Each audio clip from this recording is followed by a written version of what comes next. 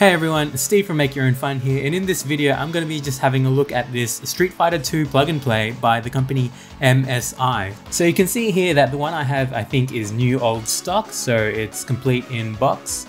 There's not a lot to it. It doesn't really tell you what version of Street Fighter 2 is on here, and the text on the back isn't that descriptive, it's kind of generic. Uh, I don't know how much effort MSI really wants to put into this kind of thing, but you can see here it's powered by four AA batteries and it's officially licensed by Capcom, so that's good. At least you know it's a legitimate product in that sense.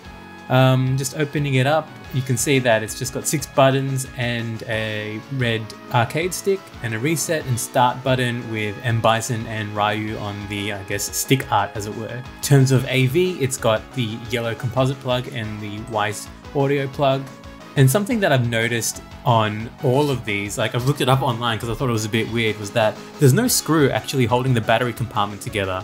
I think just to save money and because you're not really going to move it around because of these suction cups, they just didn't include a screw. So that's kind of weird to me, but I ended up just taping it down just so, because when I do move it around, it does tend to fall out. Like if you shake it a little bit, the battery cover will fall out. So put a bit of tape down then it should be fine.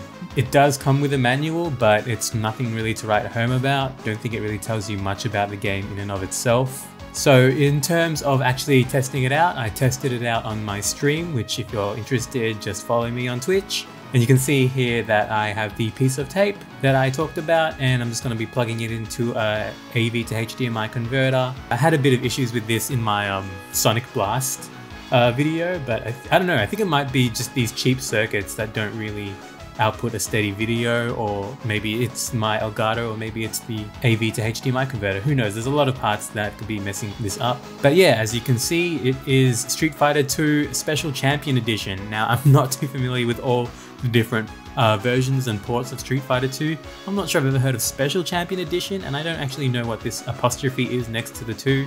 If someone knows, then feel free to let me know in the comments. But I was just testing it out. You know, the game is what it is, and it kind of looks terrible because of the, you know, I guess cheap components and everything like that. That's fine.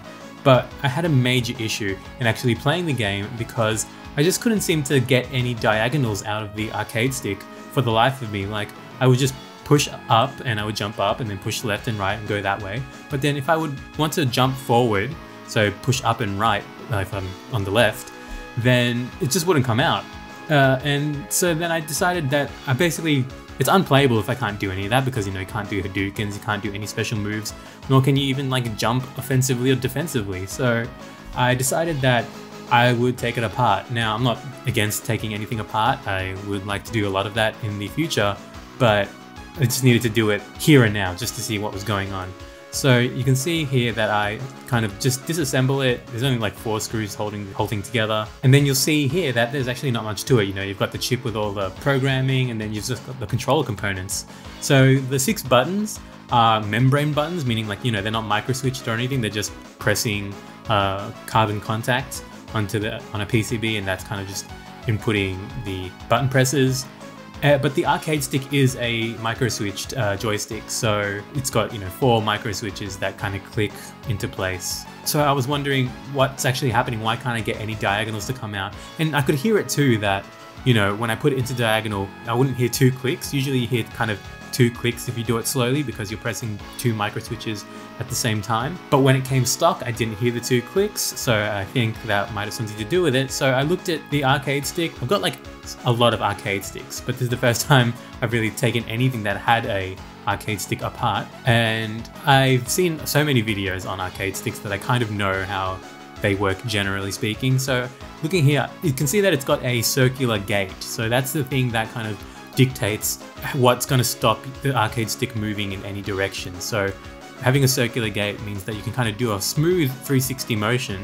Uh, it's not a square or an eight-way gate. I realized that this gate is actually preventing me from hitting the two switches in the corner because it's just not big enough. The diameter of this gate needs to be uh, bigger uh, for the actuator to be able to move and hit two switches at the same time. I couldn't be bothered really uh, filing that down to any sort of precise mode. So what I ended up doing was just unscrewing the gate altogether. And yeah, it let me throw out diagonals and I, I can do all the special moves that you need to.